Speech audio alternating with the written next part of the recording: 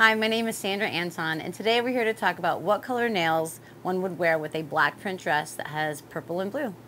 So today we put our lovely model Lane in a kimono from Big Bertha.